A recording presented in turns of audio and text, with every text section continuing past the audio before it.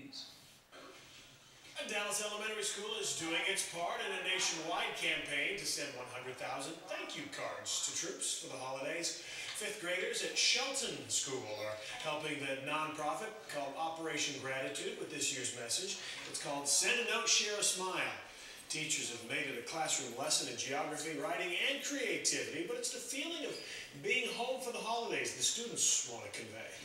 It makes me feel great to do this because I just know they're getting my letter, and after they read it, they're going to feel like they're still at home and with their family.